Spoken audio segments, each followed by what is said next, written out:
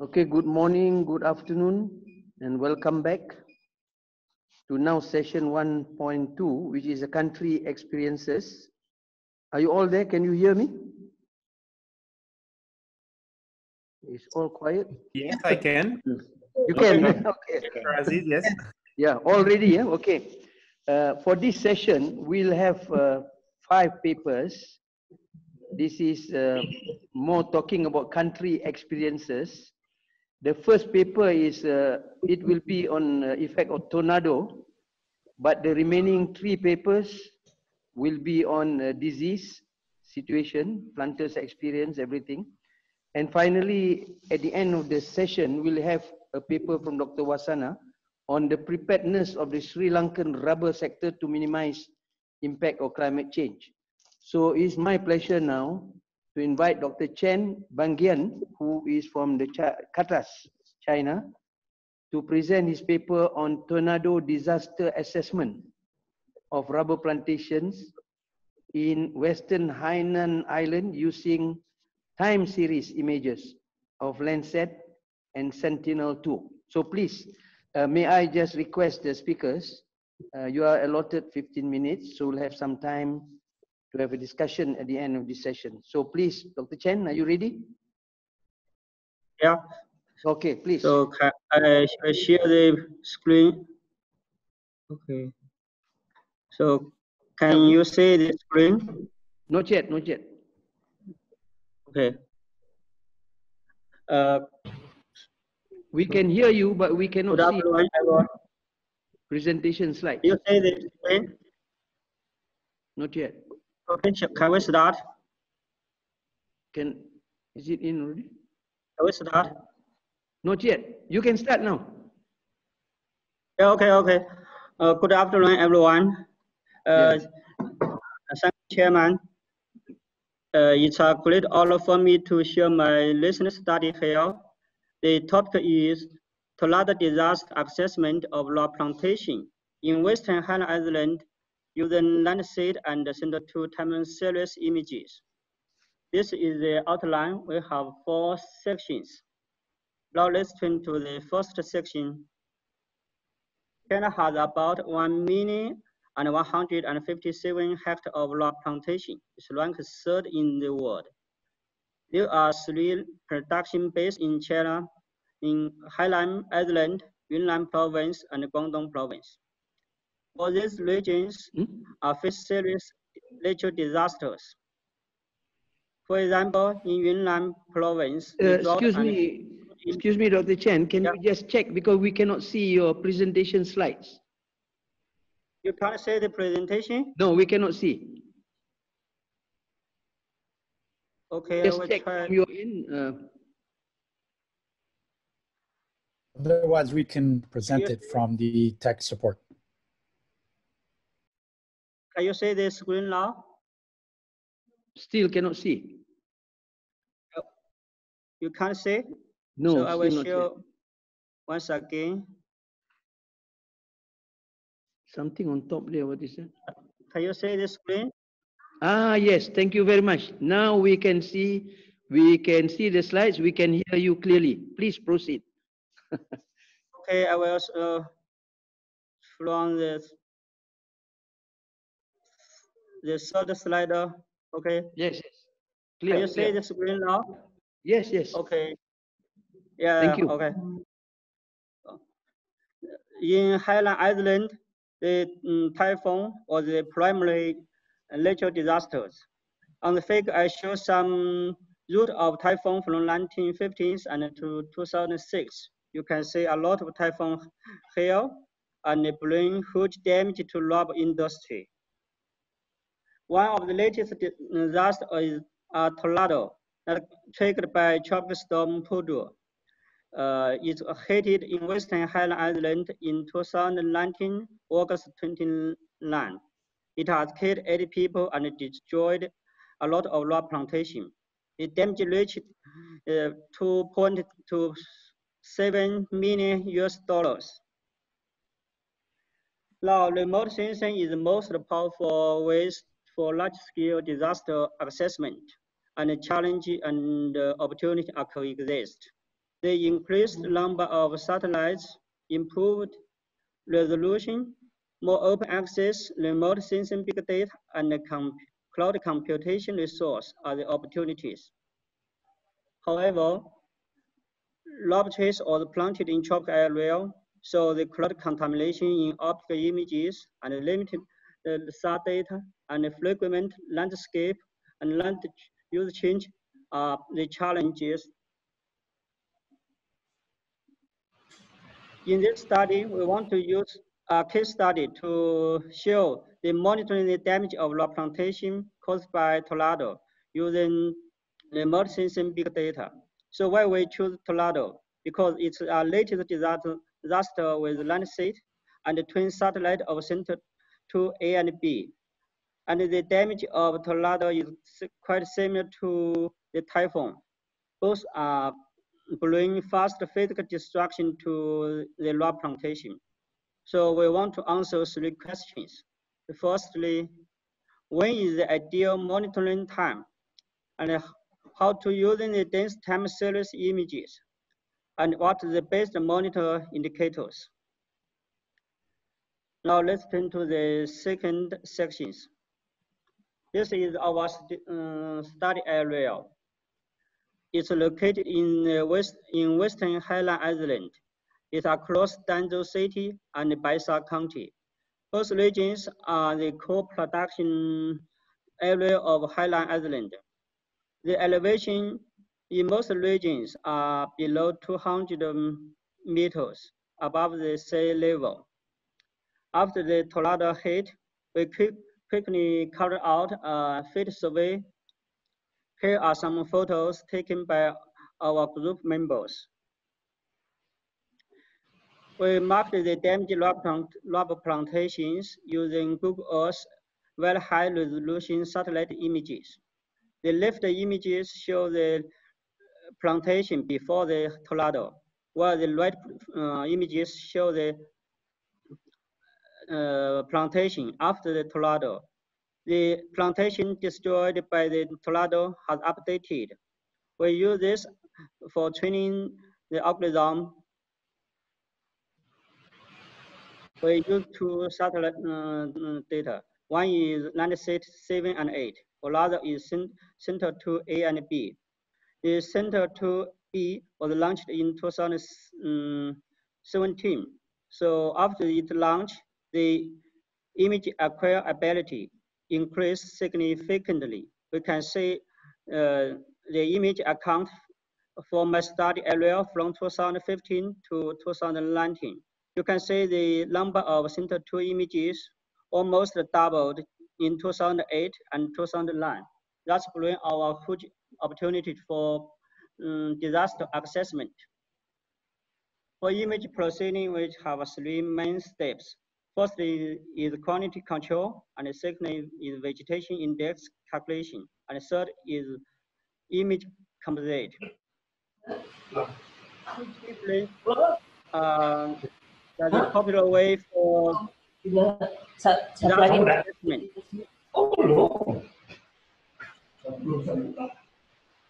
There are two ways. One is the traditional way, that use uh, two cloud-free satellite images. One is before the disaster and another is after the disaster. Then we get the different images and use the ground reference to determine the threshold and the algorithm. And finally, uh, create a disaster assessment uh, map. However, in this study, we use time series big data.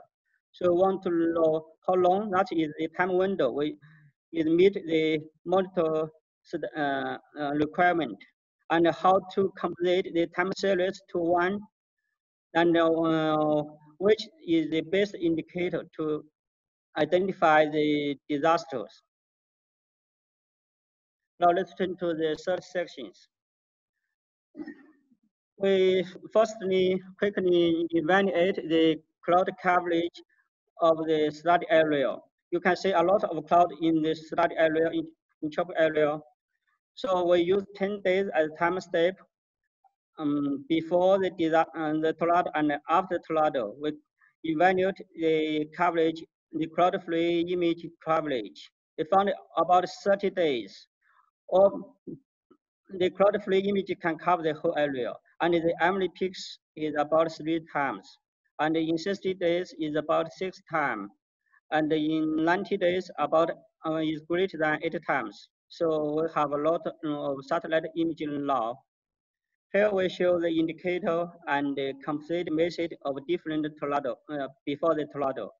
The, the left images show the absolute change before and after the tornado.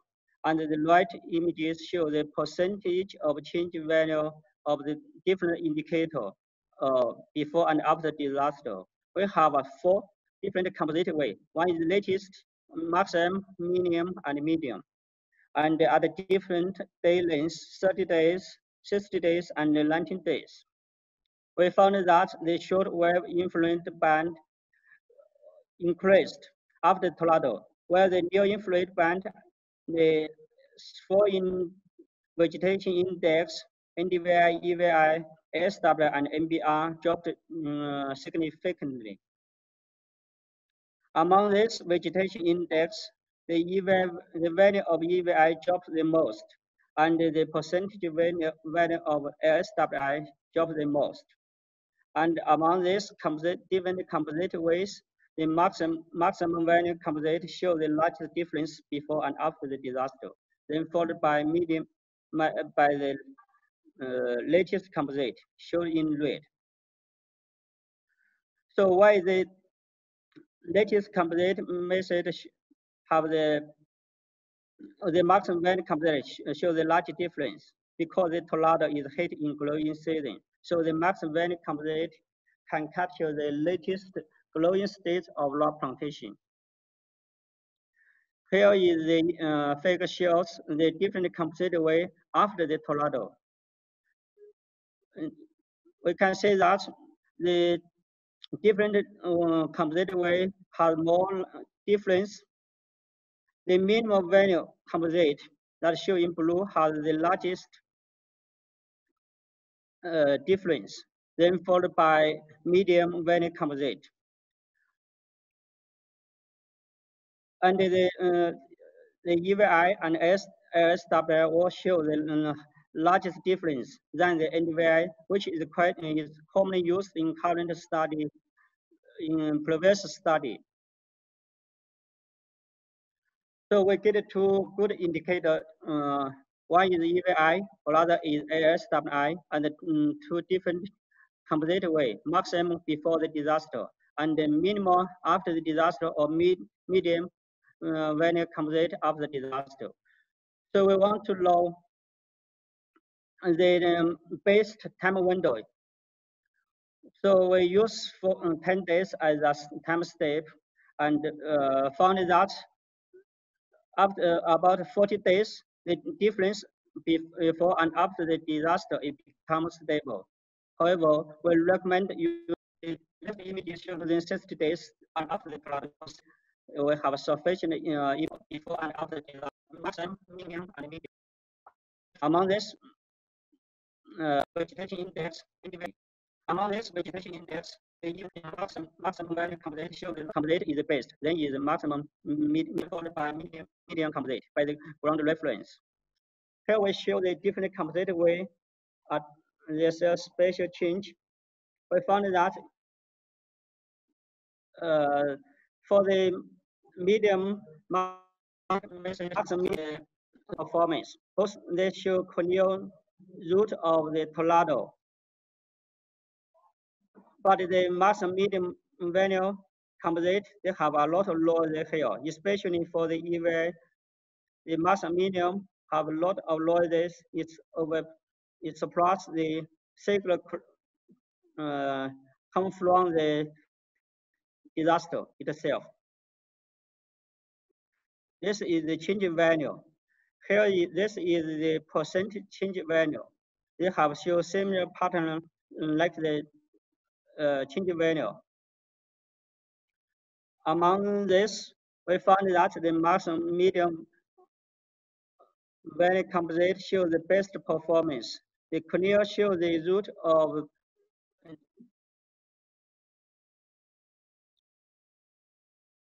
why the minimum venue composite after tornado uh, for the EVI is, is a lot works well because the EVI in the growing season change greatly than the ASWI. In the ASWI in the growing season almost unchanged.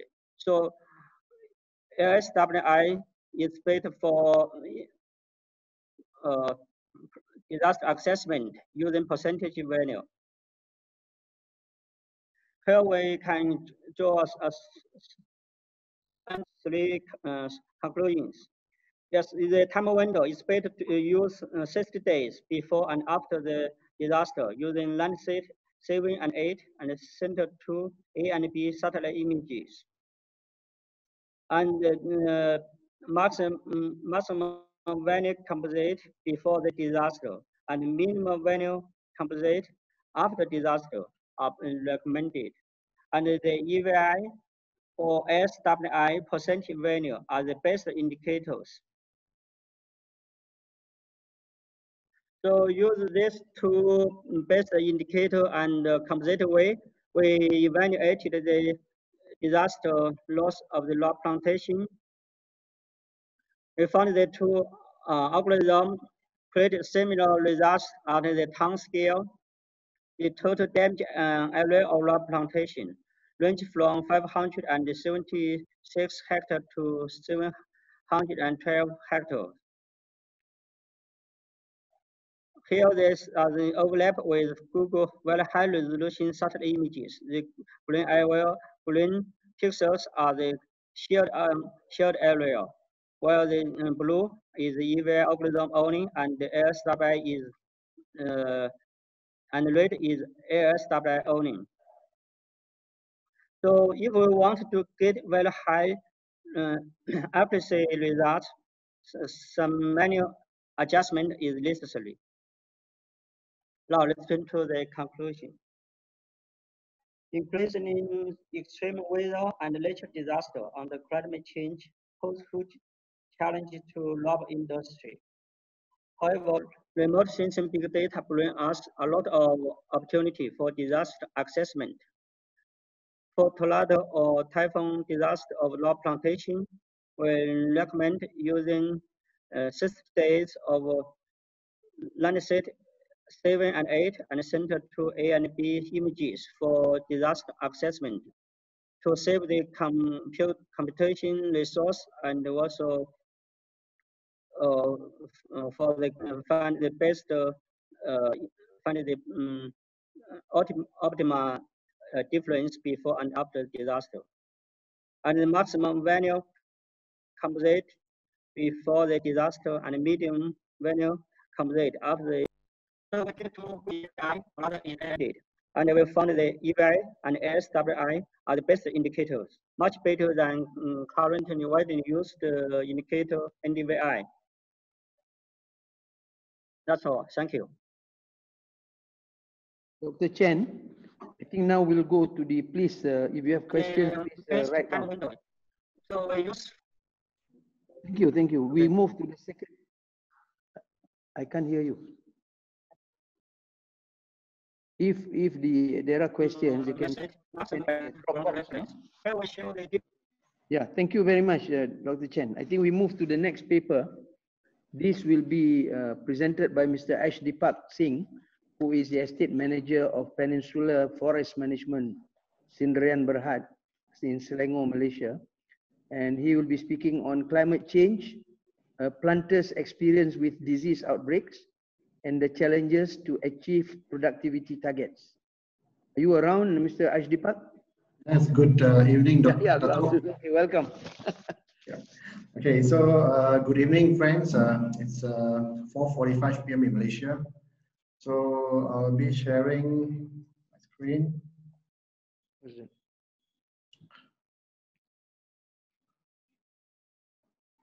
Okay, Okay, my screen Yeah. can be seen, we can see your, your presentation slides already. Okay. Please proceed.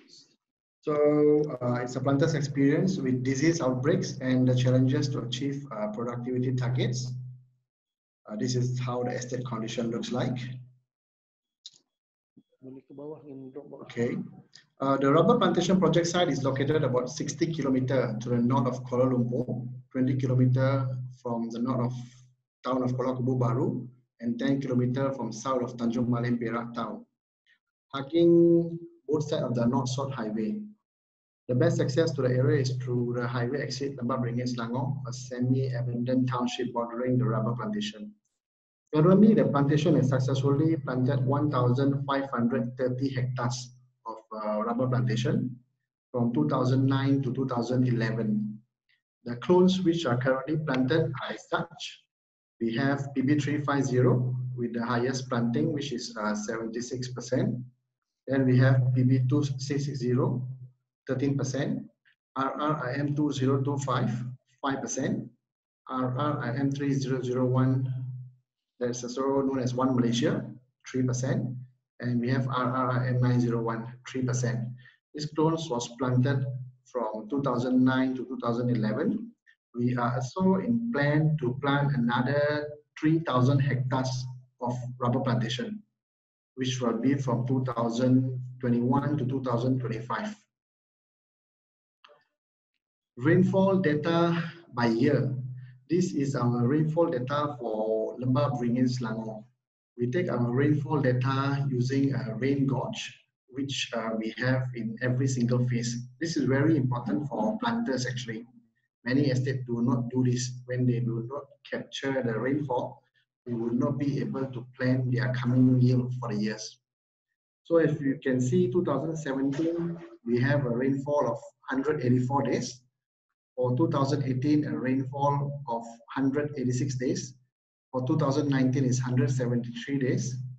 From January 2020 to May 2020 is 64 days. If you see the rainfall at this area is quite high, it's about 3,381 uh, mm. It's around 3,000 mm per year. This is how we capture the rainfall by month. So if you can see uh, climate change in, in Lembah Beringin, Selangor, it's not much of a change because the rainfall is uh, it's standard actually, it's, it's, it's the same for every year except for January. January there's 14 days of uh, rainfall in 2017. For 2018 is 16 days. For 2019 is 12 days. And for 2020 is 5 days. So this happened, when this happened, the wintering season will be brought forward. It will be delayed by a month. This is the rainfall chart by month from January 2017 to May 2020. So if you can see uh, in February, it's about five days, January, February. In March, April, it will hit to 20 days. And then it's, it's slide back down all the way. This is the rain gauge we use, uh, which you can see on your right hand side. It's called Nylex. It's a very good device for whoever owns a rubber plantation to capture the rain, uh, rain data. Okay, the challenges uh, we face, the challenges we face in uh, estate during raining season. This is the main challenges. Unable to tap, we lose tapping days wash out unless latex coagulant is applied immediately after tapping for field coagulum or known as rubber cuplump in layman's term. Like for my plantation, we do not do latex, we do field coagulum. Uh, it's, a, it's also known as a cuplump. Workers tapping without knowledge during raining season causing brown bust. Brown bust is the second most serious threat to rubber estates after Pesta after Pesta from an estate's perspective of view. Unable to achieve monthly yield and fail to fulfill yearly targets. Rubber tapping will be done rigorously during dry months to compensate for raining days. However, this method has been known to cause critical stress to rubber trees and resulting in fast decrease in the tree's latex production or ending up in panel dryness and brown bust. When earning of tappers is low during raining season, it will lead to workers running away or becoming free birds, which will further cause shortage of workers in rubber industry, which currently is already a major problem for most of the rubber industries in Malaysia. Shortage of worker is considered a main problem for rubber industry in Malaysia. So how we encounter to make sure that we can have uh, proper productivity to ensure that we tackle this uh, raining season problem.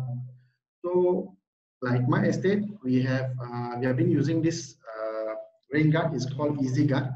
It was invented and patented by a company called Gaincrust. Easy Guard is designed to divert rainwater running down the tree tapping panel, which prevents the water from touching the tapping panel and keep the panel dry. Example, tapping starts at 3 a.m. and there was rain at 9 p.m. a day earlier. The tapper will be able to tap the tree because the panel is still dry. Rain, rain guard is very common in most of the countries. It's just that what type of rain guard you use. So basically, uh, this is the rain guard we use. It's called Easy Guard. The cost of material is quite cheap. It's about 61 cents. The labor for fixing this uh, is about 45 cents per tree. The break even of cost is two tapping days. It means if you per tree you tap for two tapping days, you'll be able to cover the rain guard's cost. Many small holders they do not invest in guard where they will lose the tapping days. So the major major setback to gain uh, your productivity is to install guard. It's very important. So this is how you install a rain guard on a small tree. This is how you install a rain guard on a large tree. I'll show you how it works. This is how the rain guard works. This is called Easy Guard. This is called, this black uh, bag is called a sealant, also known as tar in Malaysia. So, and you have a stapler. So you install it about three to four inches from the tapping panel above. So when rain happens, right, it will divert the rainfall. It will not touch the panel. You'll be able to tap if it's not a heavy downpour. This is how it looks.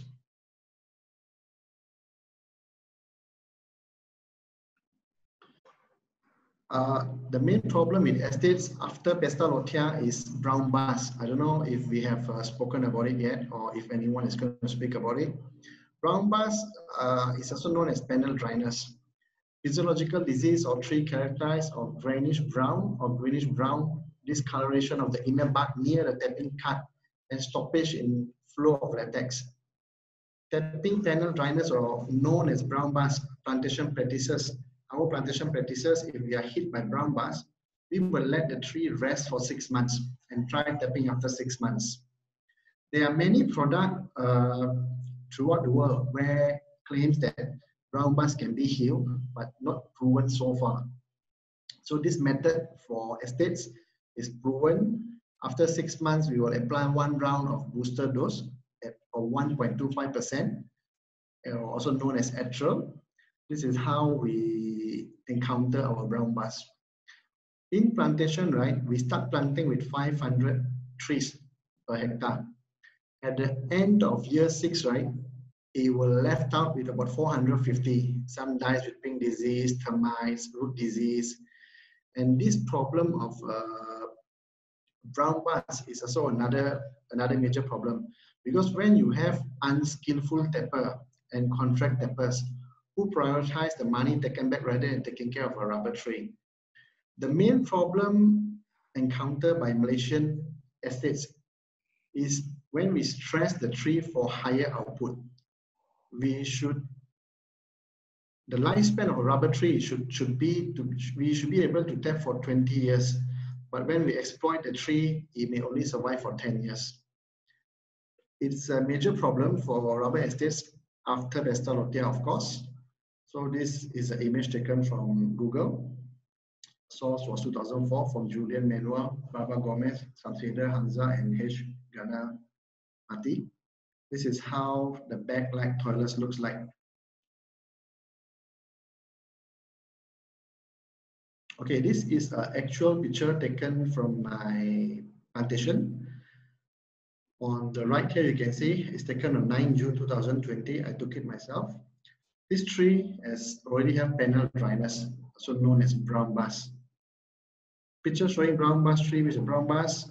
So this is a video I've taken uh, to show you that once we have a cut on uh, rubber tree, there will no be there will not be any more latex there, at least for six months.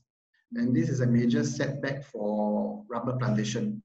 Out of 500 trees, 50 trees, 60 trees is affected by brown bast. This is mainly because of unskillful tappers, contract tappers, and when you stress the tree. It means you tap the tree during the raining season or when the panel is wet, or you over tap. I'll show you the video.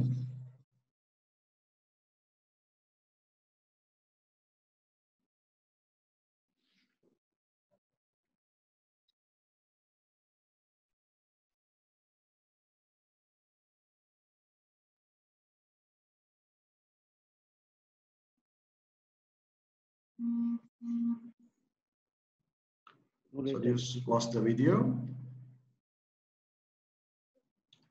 Then we have uh, Pesta of course, one of the most hot topic for every rubber plantation in Malaysia. My estate, uh, we have been hit by Pesta in July 2019 to October 2019. So we were hit at about 657 hectares. The actual hectares, the affected area was 267 hectares, which is 41%. So our yield was affected by 25% due to Pestalotia. This is a major problem for rubber industry actually. So the treatment we have followed uh, Malaysian Rubber Board's recommendation to how to treat the trees. I'll show you how, what what uh, treatment we use and how we encounter this uh, This is uh, recently actually the same location happened in May 2020 up to 14 June 2020. We are still hit by Pesta We are hit at about 67%. But this time the area affected is not much, it's about 58 hectares. So we are in the process of doing the treatment. We estimate the yield will fall at about 40% due to Pestalotia because the leaf which can be seen on the branches is less than 30%. This is how uh, the estate management, the estate operation encounter and record down their, their data for Pestalotia. So when they do the treatment, uh, which week we were advised to do treatment on a weekly basis by Malaysian Rubber Board. So we are following their recommendation. This is the treatment used by us. It's called Benlate. It has benomyl 50%, the active ingredient. So this is the ratio how you spray on the trees for Pestalotia. This is how the Pestalotia affected the rubber estate. You can see here the leaf all over the ground like blanket. And on this image, you can see that there is no much leaves left on the branches. This is uh, from 2019. This is uh, recently, this is also from 2019. Uh, just a short video here to let you see how the leaf fall. It's basically the leaf fall is is even worse during rainy season or heavy heavy wind. I'll just play a short video for you.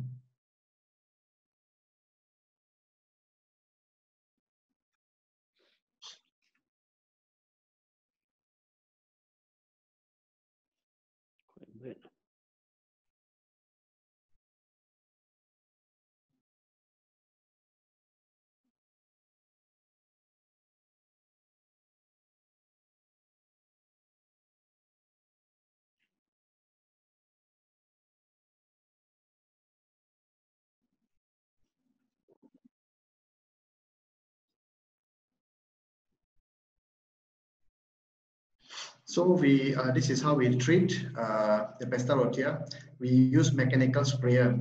Mechanical sprayer, we have a water tank of 2000 liters. We will attach a sprayer to the tractor and the tractor move around. You need two people to carry out this, uh, this job. So this is Pestalotia uh, treatment in video, how we do it for your reference.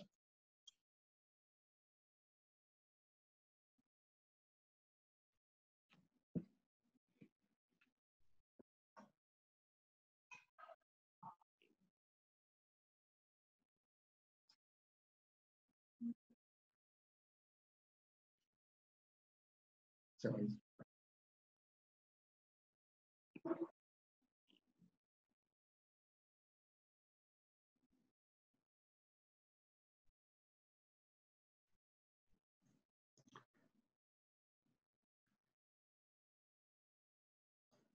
So how to increase uh, productivity for workers? This is how you increase productivity basically. Uh, workers, time, sun, rain, and recovery period. Monitoring of workers, monitoring of working hours for tappers to achieve the highest yield. Tappers are advised to start tapping at 3 a.m. and to avoid tapping after 9.30 a.m. Avoid tapping during sunlight due to the panel will dry and the text flow will be very slow and not worth the effort. Stressing the tree may also lead to panel dryness and lead to brown bast. To do recovery tapping, management can also, can also have a policy to carry out recovery tapping on high raining days. Recovery tapping can be in the evening or switch from D3 to D2 tapping. This is another method. Example, on Monday, supposed to tap section A, but it started raining at 1 a.m. That particular section can be tapped in the evening and the next day section B can be tapped so that we don't lose the tapping days. Another method of recovery tapping is also to switch from D3 to D2. Tapping can be tapped at 1.5 tasks a day to recover for the lost days. Number of trees per task must be considered as well. Normally, normal circumstances in plantation, we say that we can tap for 300 days. That's 100% tapping. 365 days we less 52 Sundays is 313 days. 11 days of public holiday, we left with 302 days. D3 tapping, we will get about 100 tapping days per year. For D2 tapping, we'll get 150 tapping days per year. However, if you achieve plus minus 95% out of tappers outturn or 200 tapping days is a good output for the plantation. The management of the plantation plays a very important role on how the recovery plan is executed. Rain guard plays an important role as well, mainly for Malaysia because we have uh, high rainfall, except for Kedah and Malacca and some other parts of the country. And this is a visit hosted by Peninsula. I see Dr. Aziz and all the team is there. It was in uh, 12 September 2019.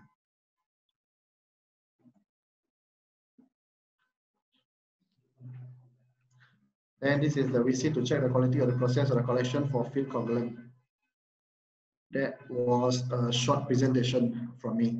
Any questions, welcome. Yeah, thank you Thank very you. much, uh, Mr. Ashdeepak. We will do the question later towards the end. Okay, Okay, Okay, thank thank you very you. much. Can we move to the next paper? It's also a disease. Uh, Dr. Tri Rapani Febbiyanti from uh, Palembang Indonesian Rubber Research Institute. She's a senior researcher there. And her title is Climate Change and its Impact on the Outbreak of Pestalotiopsis Epidemic of Hevea in South Sumatra. Okay, Dr. Febi, welcome. Okay. Uh, thank you, Mr. Chairman, Dato. Hmm. Thank you.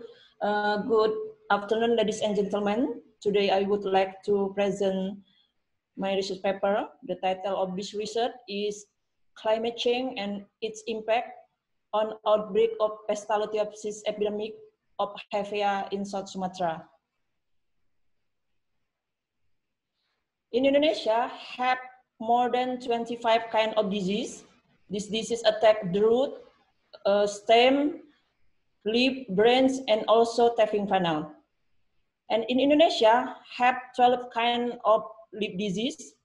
and four is important lip disease, and one become outbreak in the last two year is Pestalotiopsis leaf spore disease. It is a time disease incident in Indonesia. We can see in here almost a rubber disease occur in the wet season, white root disease only in wet season, and Pestalotiopsis in dry season and also wet, wet season when the leaf become mature. And my prediction, this disease will always come every year like other leaf disease. Pestalotiopsis first occur in the North Sumatra region since 2009, uh, 2016, then spread to the southern Sumatra region at the end of 2017 until now. It is affected area of this disease. In July 2019, uh, more than 386,000 hectare affected area of this disease. And it is canopy condition due to Pestalotiopsis. We can see in here. In 2019, attack began in January and canopy fell from January, continues fell until wintering and wintering in June and July. But it is different condition uh, with the 2020 where climate change occur and effect of El Nino make long dry season compared to previous year. So the canopy condition can be good and last more than two months. So the fig production uh, in March and April we can get.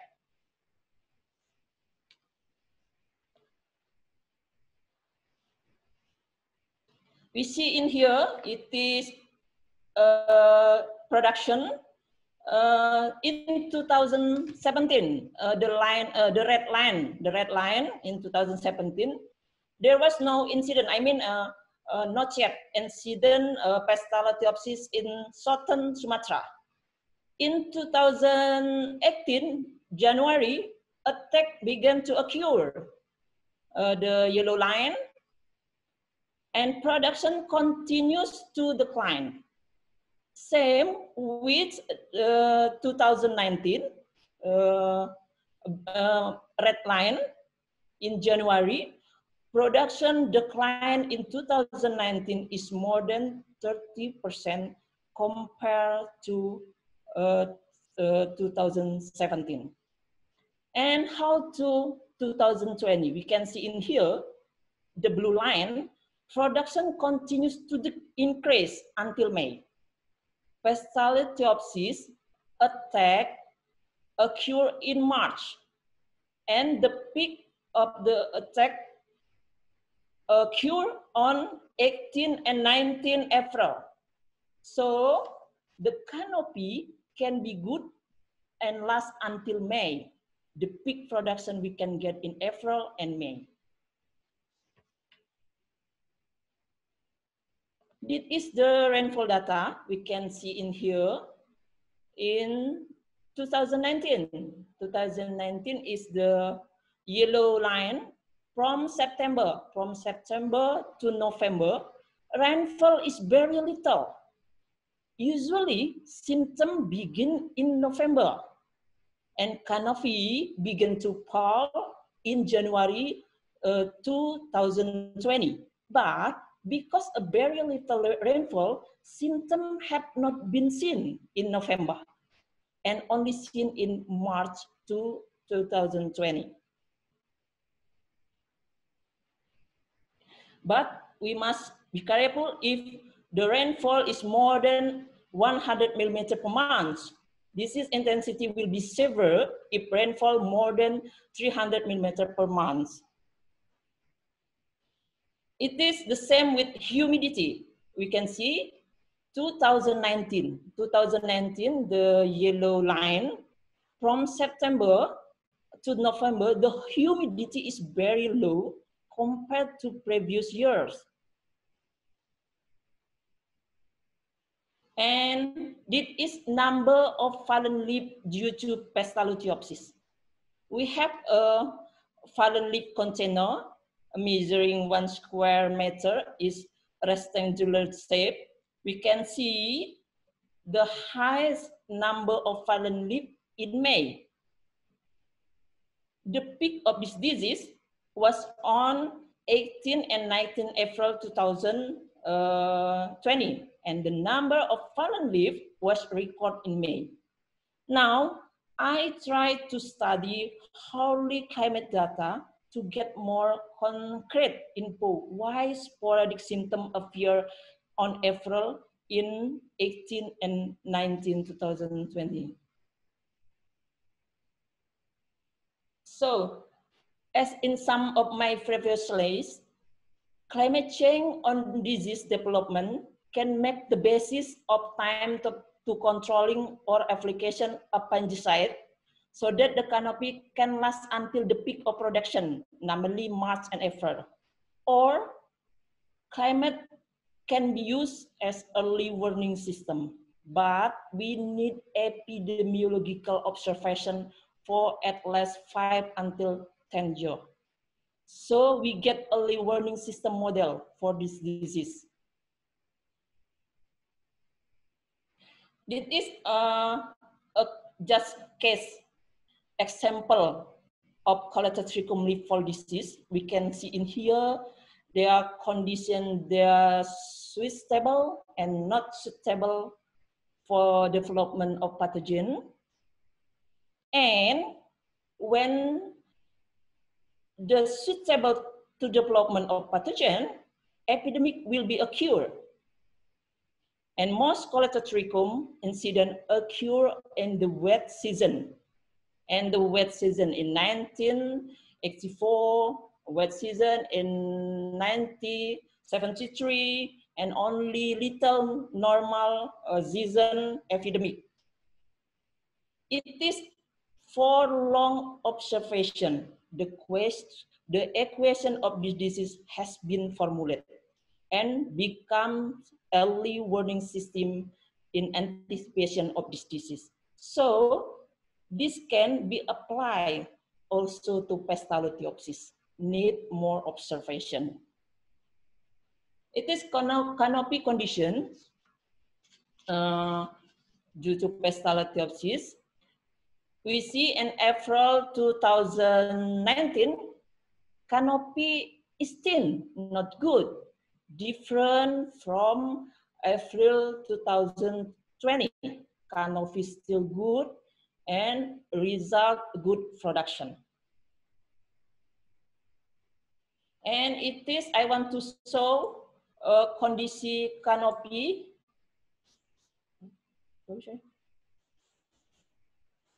Sorry.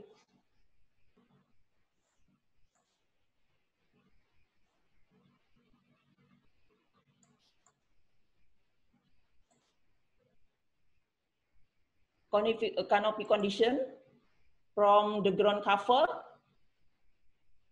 we can see very uh, canopy very thin, not good. Only stem and branch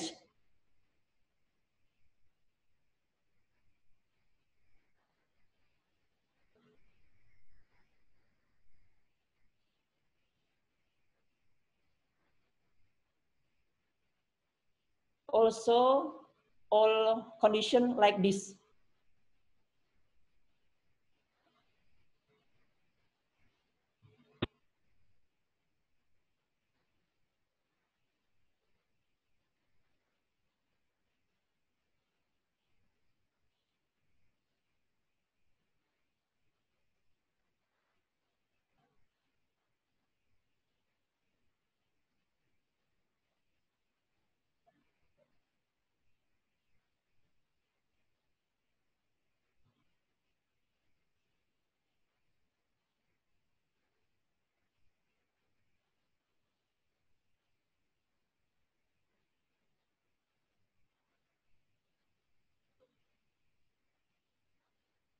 And the ground cover, many leaves fall in here.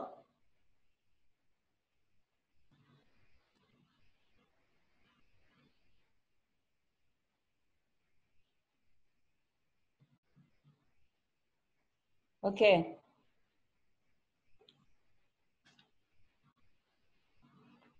Sorry, sorry.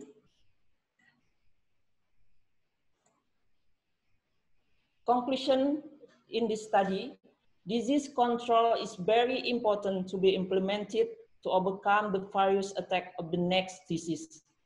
The time of application of fungicide need to be considered in order to be on target. Need epidemiological observation of disease so that it become the basis for early warning system. Thank you very much for your attention. Dr. Fabi. Now we will proceed to the next one on North Sumatra. Zaida. Dr. Zaida Fairuza from the Indonesian Rubber Research Institute, Management of Pestalotiopsis Outbreak in North Sumatra, rubber plantation, commercial rubber plantation. Okay.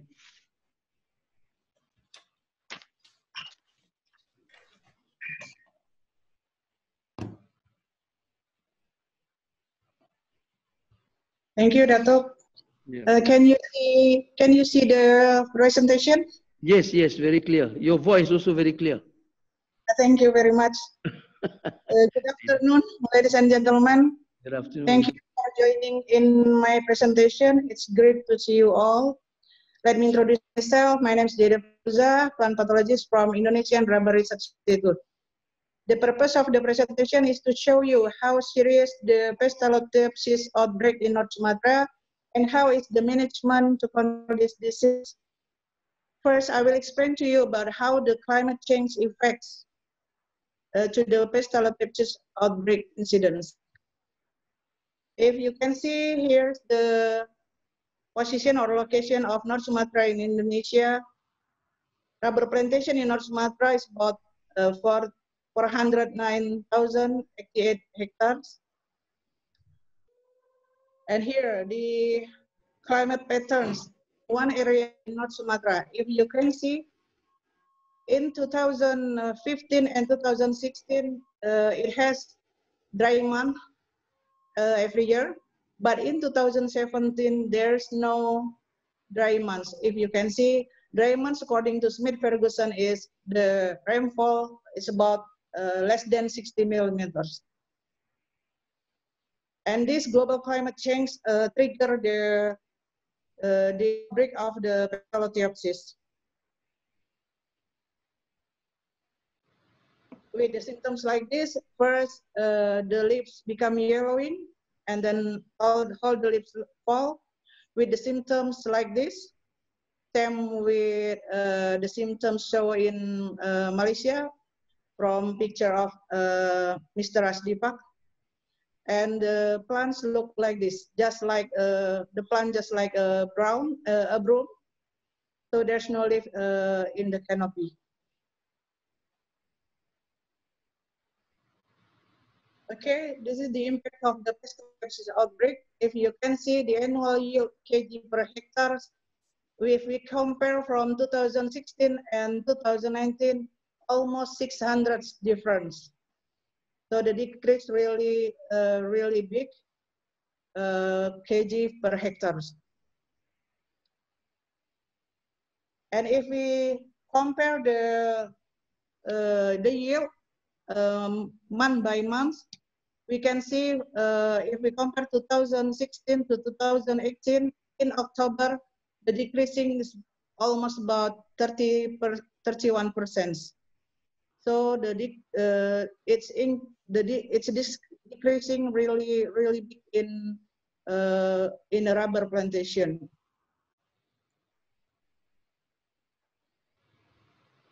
Here's the chronology of Pestalotiopsis outbreak in North Sumatra. If you have ever heard that the first Pestalotiopsis uh, occurred in 2017, actually uh, we, we found in North, North Sumatra the first recorded uh, picture or symptom is in 2016. But there's no outbreak there, only the symptom uh, in the in the leaf. And then 2017, there is outbreak uh, in since June until December, and even until now. If we connecting to the climate change or the climate pattern, we can connecting that more rainfall, uh, more rainfall, then more humid in the planted uh, in the area. And 2018, the plant before is not uh, is not too susceptible susceptible to oidium and Colletotrichum, but recently it become uh, more susceptible. Maybe uh, after the outbreak and uh, the attack of Pestalotiopsis make the plants weaker than before. And in 2019, uh, same as uh, the southern Sumatra, uh, North Sumatra also have El Nino uh, in August or September. So maybe it can, maybe it inhibited the pathogen until next year, until we have a normal or annual wintering in January. But now in 2020, the pathogen is still pandemic because we uh, we just found the symptom uh, in the area and some area uh, already has a poor canopy. That's really worrying.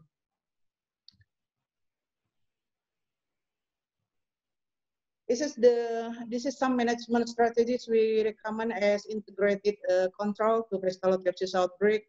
There is fogging, fogging application, ground spraying and fertilizing. But again, uh, the rubber price uh, determine the the uh, consideration of the rubber plantation company to choose one uh, cheapest uh, technique. So here's the choose the technique is uh, fogging. If we can see uh, for the cost for labor and all the all the materials it's only have total 8.19 US dollar and if if they combine uh, with uh, ground spraying they should uh, add about uh, 14 or uh, 14 or almost 15 US dollar and if we if they do fertilizing it it will cost about 88 0.35 US dollar per hectares. So that will be uh, cost uh, in, in the plantation company.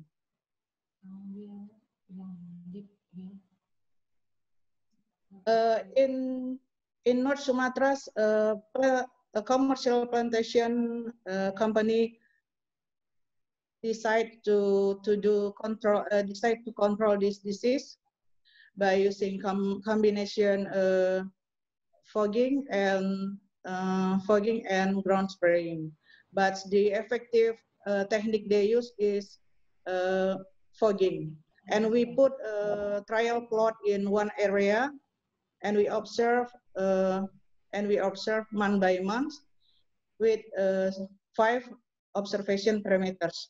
From disease severity, leaf, leaf falls, using leaf traps with uh, and also spores spore trap with spore uh, spore trap in the area with three heads in uh, half meters from the surface ground and five meters and then 10 meters and also the the fourth observation parameters is the yield and the fifth is uh, the light intensity. We use the light uh, intensity apps from uh, Play Store, uh, so we can uh, and we make we make same uh, perception by by by using vibration. So each each gadget each gadget will will take the same will take the same uh, intensity, uh, the light intensity in one area. So we get the results like this. The, the uh, this is about uh, one month after application. The application in um, in clone PB260 and year 20 2013.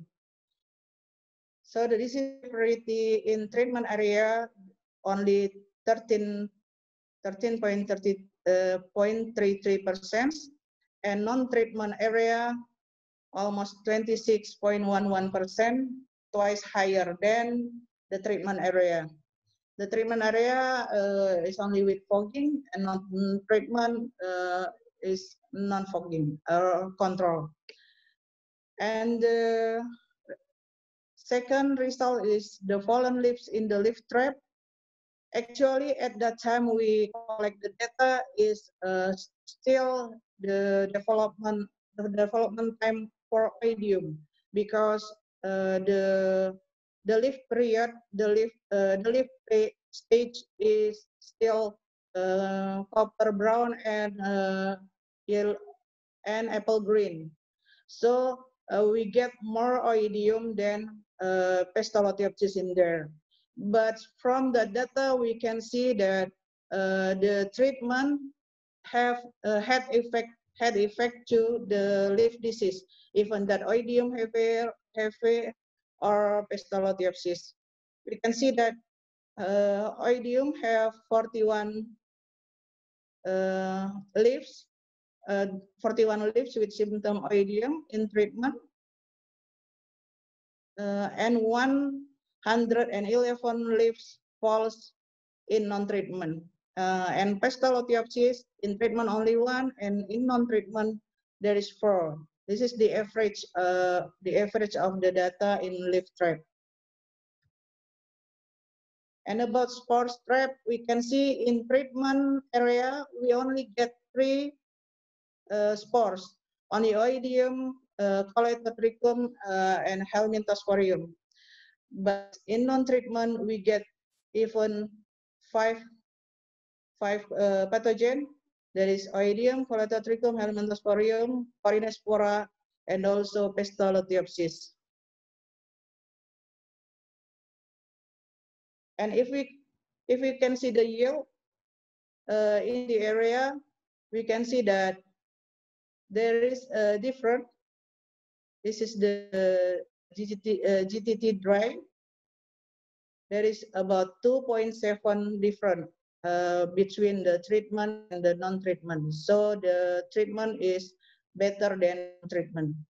And if the light intensity, intensity we can see the light intensity in non-treatment, even the light uh, intensity almost 41, 41,000 whereas uh, in treatment only 19,000 lux.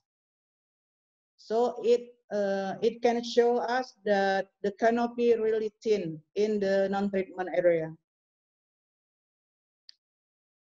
And here, the picture of the area. The area, the treatment and non-treatment, we put side by side. So we can see this is the treatment area, really dark in uh, really dark below.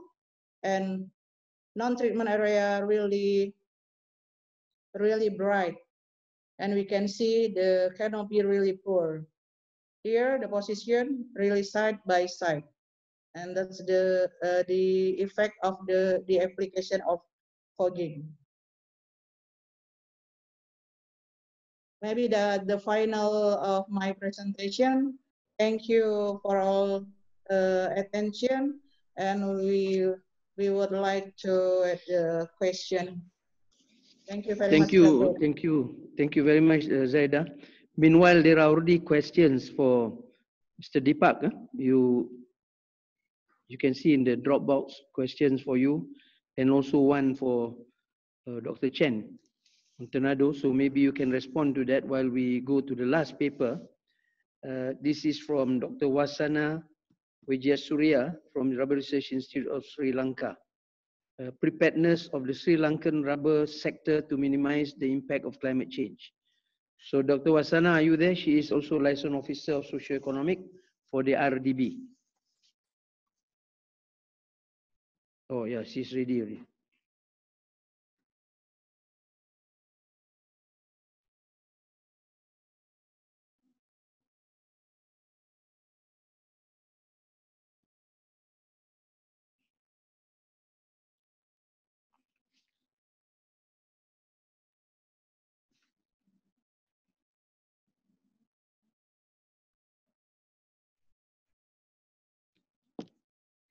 Dr. Wasana, we can see your slides, but we cannot hear your voice. Not yet.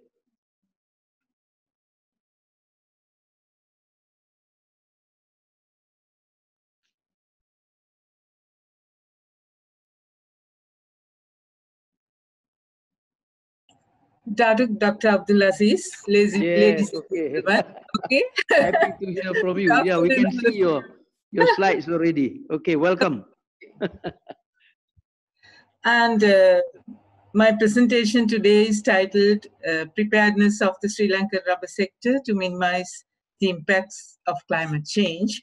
Uh, the basic focus of this presentation is to demonstrate uh, to what extent uh, RRA says, uh, I mean, our institutions R&D program fits into the National Adaptation Plan on Climate Change of Sri Lanka. As you all know, sorry. And uh, this uh, climate change adaptation plan, uh, which is, uh, I, I should say, the most logical step because uh, we also had some other conventions like uh, National Climate Change Adaptation Strategy for Sri Lanka, then came the National Climate Change Policy, and the recent one is this uh, National Adaptation Plan for Climate Change Impacts in Sri Lanka, uh, which is for the period 2016 to 2025. And this uh, document has laid out national initiatives for meeting the adverse effects of climate change. And uh, I would like to say that uh, RRI Sri Lanka has been involved in research in various disciplines in developing adaptation measures to adverse uh, climate change impacts, uh, although in absence of this national adaptation plan, and also in the process of developing the knowledge base for carbon sequestering ability to prove the prospects in receiving carbon credits. And we are, uh, uh, there's a project going on establishing rubber plantation projects, rubber cultivation projects for the voluntary carbon market in the non-traditional rubber growing areas in the eastern and Uva provinces. And uh, it is, uh, rather than doing ad hoc research, it is always good to follow a systematic way by adopting the National Adaptation Plan for Climate Change Impacts. And this uh, particular document has identified nine vulnerable sectors, including uh, the plantation sector, and rubber is contained in the export development section. And uh, this can identifies adaptation options, this report, that can fulfill these needs and actions necessary to achieve these adaptation options. And this is, uh, I mean, stake, this uh, uh, report was prepared with stakeholder participation and even uh, officers from the Rubber Research Institute also participated in uh, documenting this report. There are four relevant adaptation needs for the natural rubber sector as per this uh, national adaptation strategy. The first one being enhancing the resilience of the rubber sector against heat and water stress. Then the second is minimizing the risk of crop damage due to biological agents. The third being minimizing the impact on export earnings due to erratic changes in precipitation. And the final one is enhancing resilience of export crops and agroecosystems to extreme weather events. So let's uh, move on to the first one, which is enhancing the resilience against heat and water stress. And here the key area is germplasm improvement and also improvement of nursery and plantation management practices. Uh, the breeding of new clones include multiplication establishment and scientific evaluation of Hevea germplasm, molecular level screening to identify drought tolerant clones, and RRISL smallholder collaborative trials, uh, mainly in suboptimal environments to test adaptability and performance. Uh, again, regarding breeding of new clones, there are some success stories. The clones RRSL 217 and RRSL 215 have been identified as highly stable for all environments. So that means it's good for even dry climates. And through molecular screening, RRSL 2005 and RRSL 2006 are more tolerant to drought compared to the other clones tested but we need further research to confirm uh, these findings. Uh, then on to enhancing the resilience of the rubber sector against heat and water stress again, uh, considering the improvement of nursery and plantation management practices. These are the areas that are being focused by RRS Sri Lanka in the uh, process of finding adaptation measures, suitable adaptation measures. Uh, they are improved planting material, priming of seeds to improve germination success, application of botanicals and physiochemicals, mainly to uh, avoid uh, water stress, irrigation practices to reduce moisture stress, and studies on potting media for root trainers, biofertilizer development, etc. And uh, more onto this aspect, uh, we do research on use of organic fertilizer, biochar application, intercropping systems, and soil moisture conservation practices uh, with the objective of avoiding stress situations. Uh, let's move on to the second of the adaptation needs, minimize minimizing the risk of crop damage due to biological agents. Since we have uh, heard uh, very much about diseases in this session, I mean this uh, session.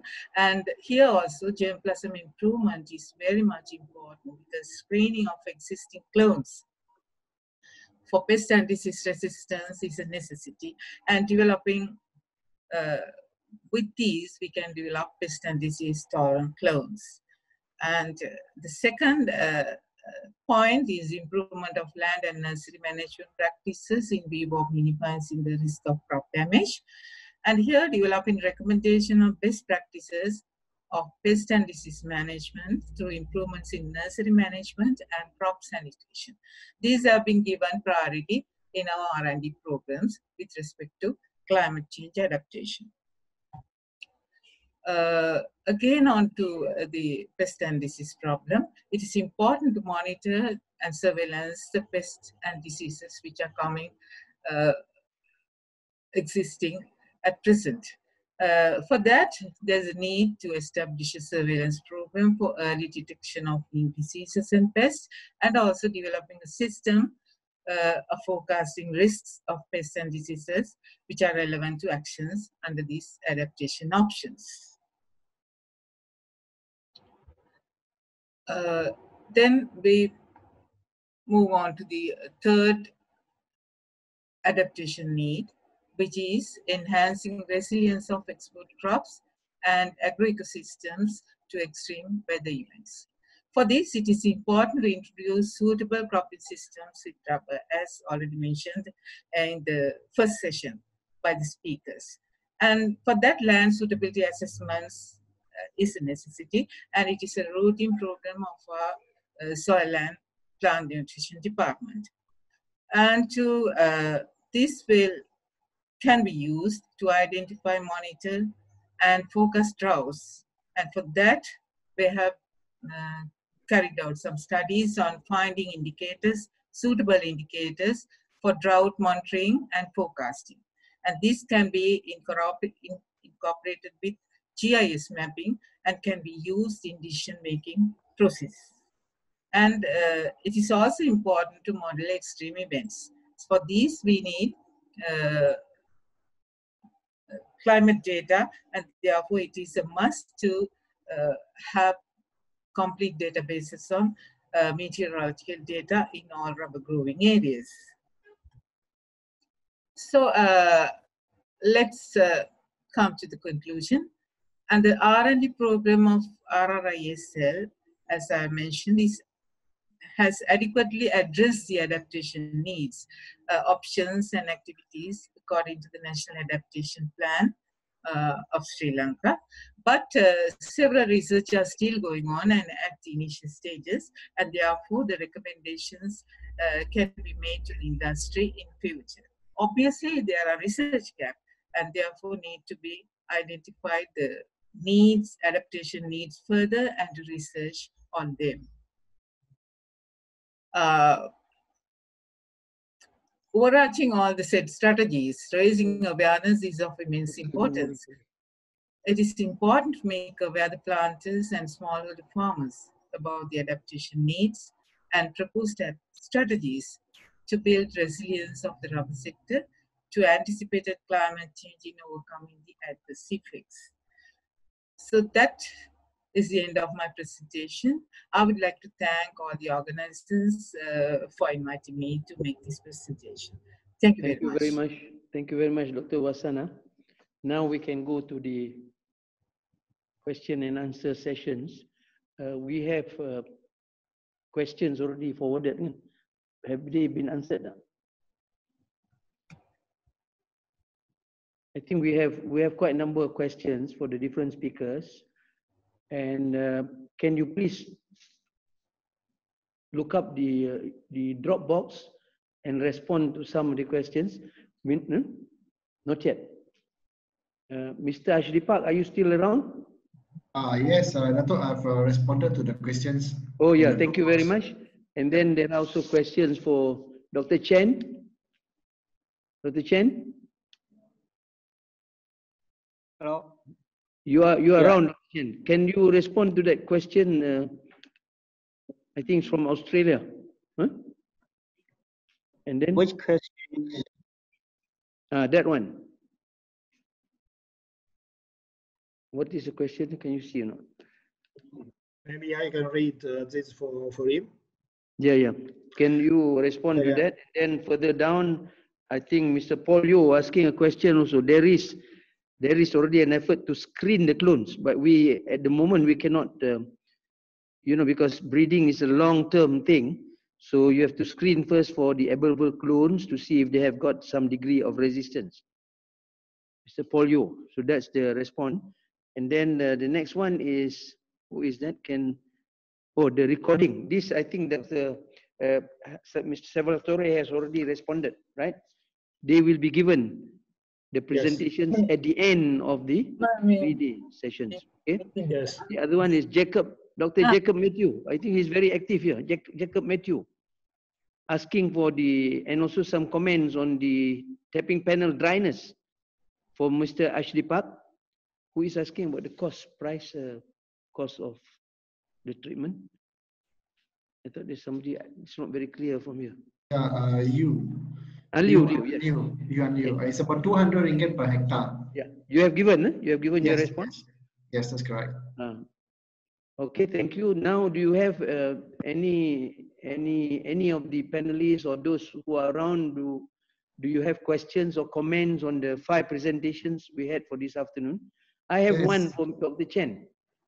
Uh, when you talk about typhoon and cyclone, which one is more your tornado, tornado and cyclone? Which one is more prevalent in in the Hainan Island? And then what about your, you know, you have the barrier tornado barriers, uh, the typhoon barrier trees, are they effective?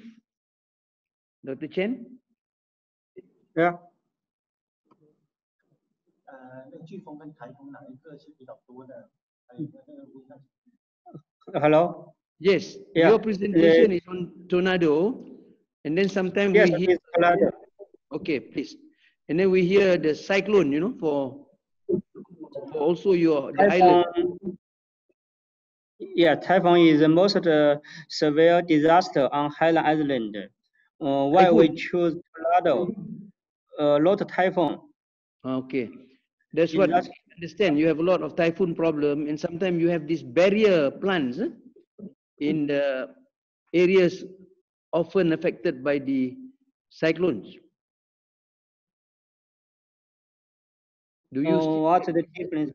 barrier, Yeah, barrier uh, plants, typhoon- like Okay, wind barrier, windbreaker, yeah, Okay. windbreaker. Uh, the difference between typhoon and tornado. They're both uh, the typhoon bring uh, more large um, destruction on rock plantation. Uh, when the tornado is um, bring severe de uh, destruction on the route, um, maybe uh, one kilometer uh, along the route is uh, uh, for, for just for tornado. But typhoon and they, and they will destroy a large area at maybe in a uh, uh, very short time. Aku. Uh, the first, So more damage to the trees caused by the typhoon, right? many countries, especially this, uh, can sudah aku jawab. Giovanni, can you Yeah, see? Fabi, what- you have a question? Dr. Yeah. Fabi? So uh, the second question is how to see the future direction of remote sensing in address the climate change on rock plantation. Okay, uh, uh, uh, let me see. Uh, um, Uh, okay, and uh, about season? Uh, We'll get back to you, uh, Dr. Fabi. Let uh, Dr. Chen respond to that question from Fatin. Okay. Yes, the in future the uh, image acquirability is improved, uh, is especially after 2008. So we can have a, um, a big remote sensing data to monitor disaster. So uh, uh, I think the big data is uh, one of the uh, direction. That use time series also is very important. In previous studies, most uh, study using one or two uh, cloud-free images. But, uh, but now we have a, a dense time series images, so we can uh, respond more quickly and uh, not uh, not like before, we just wait for the cloud-free images. If no cloud-free images, large at a large scale, so we can't do the uh, uh, perform the disaster assessment. But now we can use partly the uh, image that was partly contaminated by cloud, but we can use uh, this, uh, these regions lot of contaminated by cloud. So use time series uh, is a direction, and we we can re respond more quickly to the monitor the disaster. Okay, thank you. And um, let me see, is there any other question not, not being uh, addressed? What would that gentleman- Philippe Thaler. I have a question. It's not a question, it's more comment about Pestalotiopsis. Please, please. Because we, we have seen several presentations about this, showing that there is a serious outbreak of this disease recently.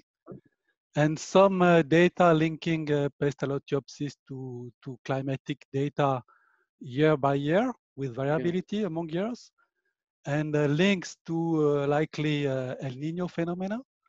But uh, I haven't seen uh, why you link this with to climate change actually, because climate change it's it's different. It's a continuous Well, trend uh, of climate that is changing the- over a long period due mainly to temp changes in temperature. So so far what we have seen is links between climatic data and outbreaks of disease, as we have seen in the past. It was shown, for example, for for for Colletotrichum or or Corynespora. But I'm not sure we can uh, tell that so far there is a link with climate change. This is something that we have to study, but to to tell today that yes, Pestal- Pestalotiopsis uh, outbreak is linked to climate change, I think we, we cannot tell this so far. We need to study it before. The, uh, thank you very much for your comments. First, this disease is of recent origin, although it was a minor disease many, many years ago. It's only end of 2016, uh, as it was observed uh, both in uh, Malaysia and also in Indonesia. And the immediate thing that they have done is observe the occurrence of the disease.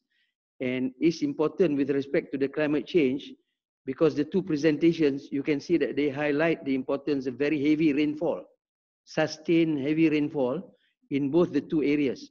The difference is in the case of North Sumatra, the wintering period is quite similar to Malaysia. But in South Sumatra, it's different because the wintering period comes around June, July, or it can be also extended to August. So the uh, this is just they just started on the study, and the immediate one is to see what sort of treatment can be given. Obviously, there is also the contribution of the inability to purchase fertilizer, to apply fertilizers. So the trees have been weakened. That's another aspect. So it's, it's going to be a very interesting study. So your observation is correct. Uh, climate change now with respect to the rainfall, very heavy rainfall, and the good uh, the presentation by Dr. Fabi, she showed very clearly when it was dry, the disease didn't occur. And in April of this year, two days of very heavy rain, then two days after that, you find the disease appearing. So that is the, just an explanation to your observation. But uh, it is going to be a very interesting study, and we know that there are students doing postgraduate their, their research in the different universities, both in Malaysia and also Indonesia and maybe other places, even in Australia. So it's interesting. It's, there is some relationship between the climate situation and occurrence of the disease. You see, the other thing that we observe here, we are very concerned about South American leaf blight. And you know that South American leaf blight, the experience in Brazil, they have gone to the escape areas. They've gone to Sao Paulo. No problem with South American leaf blight. But we did spend a large sum of money. We set up the research center in Trinidad and also join work with the Brazilian. But until today, I think uh, I do not know. I think the, the possibility of South American leaf blight coming here, uh, we are more we are more concerned at the moment with Pestalotiopsis. That is the observation because we have been uh, doing a lot of things on South American leaf blight, and I think the conditions may not be right for that fungus to to to come to this region. Okay. Any other comment, Fabi? You want to say something, Zaida? Thank you. That, that uh, I just want to add that actually North Sumatra have eight zone, uh, eight season zones. So uh, for, uh, as you know, I have uh, presented about the difference uh, between areas. Uh, it can show us, it, it can show us that area with poor rainy season or with poor rain have the thicker canopy than the the area with more rainy uh, more rainfall. Maybe you still remember that. Yes. Maybe I will understand uh, that to uh, Philips, uh, to the email of Philips uh, about the the data. You see, the additional information you all have presented, I think it's interesting because you are now showing the effect of uh, applying fertilizers and also spraying. Except we have to be concerned about how much, as some people have asked, the cost of giving this treatment to the trees. But the, the beneficial effect is already very obvious from your presentation, uh, Zaida, and also I think Fabi's work in uh, Palembang. And even down here, they are doing some work. You can see that uh, Mr. Ashdeepak uh, doing the treatment, and they seem to be observing some positive uh, response from those activities. Okay, any other question from uh, even the panel members or the presenters? Do you have any other questions? Uh, I have a question for you, I mean, for you, and I can open to uh, to the other panelists, because I think uh, both Fabi and Zaida, they mentioned a couple of times uh, the need for an early warning system. Right? And I think you know we have now new technologies, and uh, in the previous session, Actually, there was a question related to the epidemiology study and world-scale observation network to uh, address um, the impact that the increases increasing raise of temperature and uh, whatever it comes from from that uh, could have on plantations on rubber plantations. So the question is basically, these warning systems are in place in countries, for instance, in Southeast Asia. Secondly, what we can do to actually uh, set up um, not only in one country, but you know, extend cooperation in this direction among countries. Yeah, my, my response to that is when we receive this outbreak, uh, you see it's a complex disease situation. Uh, initially, it was fusicoccum. You know, it's quite a standard happening after wintering. Then you get the oidium coming in, and then the coletotrichum, which is called the secondary leaf fall. And then another important disease is corynespora. So when this happened, we visited the fields. We went to Indonesia, we went to uh, we went to Malaysia, and the NRPC also organized uh, a workshop in Thailand. So we brought all the experts, the disease experts. First, the visit, we form a task force actually on just studying this Pestalotiopsis. And they made some recommendations for the R&D, and this is being actually done by the different member institutes to study the, but I think more like early warning system at the moment there is, it's not possible to do that except when they are monitoring only the rainfall that is an indication. When they get the heavy rainfall, you can expect that the next few days, the disease will come. I think maybe they can respond, you know, but we brought in all the experts uh, to visit these locations. And then by the time that was over, then we found that the outbreak already went to Thailand and then Sri Lanka. Uh, although India reported only a very uh, minor sort of incidents. So that is the situation. It's going to be a very important uh, topic for research mm-hmm. master's program or PhD program. Your comment, Zaida and Fabi, anything to, in response to Mr. Salvatore's intervention? Okay. Uh, I think uh, for early warning system, we must uh, we must have observe, many observation about epidemiological, and we must also know about uh, climate factor, rainfall, rainy day, rain speed, humidity, uh, evaporation, and other. Uh, so not only uh, not only uh, Pestalotiopsis, but uh, other leaf fall disease we must know. Uh, and this need long observation and until maybe five and 10 years.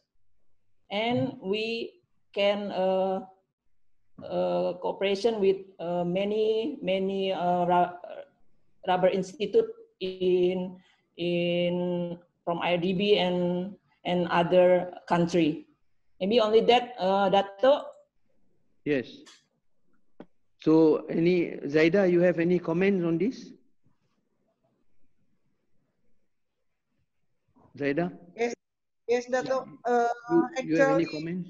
Yeah. Yeah, maybe a little. Actually, the best and cheapest management strategy to control the this disease is by using resistant clones. Again, like Dato said, that uh, it needs more more time and uh, really long uh, longer time.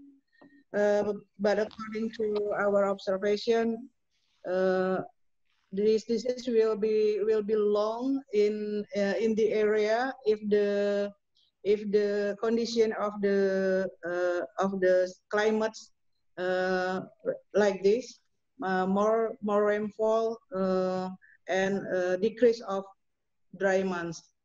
Just like case said case et al 2007 said that in Indonesia especially the climate change uh, become like that. So decreased dry months and more uh, rainfall. and the increase of the temperature. The increase of temperature combined with more rainfall, it it will uh, make the, the area more humid than before. Maybe like okay. that. Um, Mr. Ashdeepak, you have any comments on this? You have been uh, working very hard to to control this problem in your plantation? On what again, uh, Dato, I missed the. Um... So the, the you agree that I think more research will have to be done on this? eh? On Pestalotia, yes. Yes, yes, Pestalotiopsis. Because uh, Pestalotia, I, I personally think is something like COVID-19. We are unable to find any treatment at the moment. So But we, you have some interesting clones in your plantation. Yes. What is your observation? Most of them are all susceptible or what? Uh, basically, one Malaysia is more uh, RRIM3001. Uh, I've planted about 3%, and uh, the hit on RRIM3001 is much less than other clones. That means that So- there is less incidence there. Yes, that's correct. Ah, that's good. That's correct. Similarly, they are making observations also in Indonesia and Thailand uh, with respect to susceptible or resistant clones or some clones showing some degree of resistance because it's ultimately just with the corynespora experience, the cheapest Yes. way is to develop disease resistant clones. That's And this correct. is fairly new, you know, we're just in it into about four years only. So I think that's that's the we can move away from the Pestalotiopsis. Anything on Wasana, Dr. Wasana, because I think it's interesting that Sri Lanka has, uh, you know, come out with this national adaptation plan for the climate change. I think which is interesting that the institute has taken uh, this initiative. Any any comments on that or any question? All the questions uh, cu- submitted If have been answered. yes, uh, Yeah, Eric, go ahead, please. Okay, Eric, go ahead. yes. Uh, I think the approach which has been taken by Sri Lanka, Yeah. very, very much inclusive Yes, and very applied, huh, is a is a very very nice approach. correct. And they have also gone to the, you know, gone to the field to explain to the Yes. growers, and the R&D is also simultaneously being carried out. Because yeah. this morning, this morning uh, everybody spoke about biophysics, climate, and so on, but uh, nobody really spoke about the people. And uh, in fact, uh, huh, everything uh, everything will depend on the adaptation and adoption by people. Okay, I think if you don't have any more, most of the questions in the Dropbox have been responded to, right? Already. So I think uh, I'll just take few minutes only just to wrap up this session. I think what, what we see here, whenever we have a crisis, the people hardest hit is always the poor. So no different in this case when you have climate change issues, you have the tornado, you have the cyclone, and similarly you have typhoon also in in uh, around Bangladesh areas uh, where the if the wind speed very very strong, the leaves just dry up because the heat the heat of the wind passing over the leaves. And similarly also problem of not only the, the tornado or the typhoon in uh, Hainan, we also frequently get these freak storms. That's why the challenge for the plant breeders multifold. They have also to breed clones which are fairly wind resistant. I've seen an area where a few hundred hectares, all the trees are just as if a giant has passed through and pick them up one by one and break them down. So I think the not only disease resistance, but wind resistance, and on top of that, they have to study the, the properties of the latex and look for the uh, good sized trees, which at the end, when the plants are replanted, it goes into the furniture industry. So the, the we have covered uh, extensively this afternoon that disease problems are very, very important. Uh, just like the experience in South American leaf blight, now we are faced with a number of uh, disease problems. As the first session, it was mentioned very clearly that with climate change, disease also changes happen, and sometimes the changes are more serious for the rubber rubber growers. So I think the the I, that's all that I need to say. But all this calls for greater cooperation, not only as far as the breeding is concerned. The previous approaches entirely conventional breeding, which means the molecular biologists were not involved. But now, happily, that they are sitting together and see how that the molecular biologists can also contribute to this effort to produce not only resistant clones, wind resistant, and also clones, which give them the yield. The theoretical yield, they say you can get to even 8,000 kilogram per hectare per year. But we say we are happy we can get 5,000 because now the average is all below 2,000, many countries. So that is the approach to take. So all these calls for not only uh, looking at the climate change issues, but also challenges before the researchers in all the member institutes and even in the industry. So I would like to take this opportunity to thank all the paper presenters and also the, the participation, active participation by the more than 100 over, I think, about 200, uh, 190 participants, many not visible to us, but we hope we'll get the opportunity in the future to have the physical meeting.